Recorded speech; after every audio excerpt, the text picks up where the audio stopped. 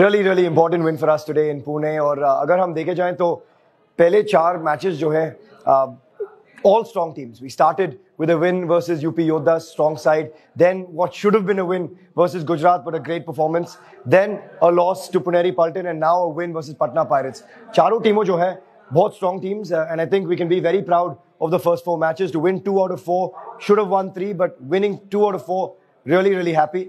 और थोड़ी देर पहले मैं टीम को कह रहे थे कि there's a saying in English, sometimes you got to win ugly.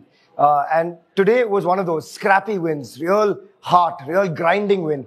Because even though the defense didn't quite click, uh, you know, there was a lot of errors here and there, still they ground it out. They came together. Surinder, even though he had a knee injury, said, I want to be back. I want to play on the court in the second half when it matters. Pulled off a couple of important tackles as well. We've got a youngster on debut, Sombir. He'll brush off these nerves. He'll come back. Rinku will get better, I'm sure. Mahendra will get better. But to me, the stars of the show today were our Raiders. Guman started things off, then Zafar and Vishwa for me was an absolute superstar. Defensively, with a very good super tackle, and whenever there was a big moment, Vishwa arrived. Uh, Zafar Danesh was outstanding as well, and I think you guys can understand why we're so excited about the team that we have. We still have a Pranay to come. We still have a Jai Bhagwan to come. We still have so much bench strength as well that is still to be tested. A Gokula Kandan, a Mukilan, uh, Shivansh, so many others that are still waiting in the wings as well. A Bittu on the right corner. So lots more to be excited by. Uh, lots more players that I've not mentioned as well.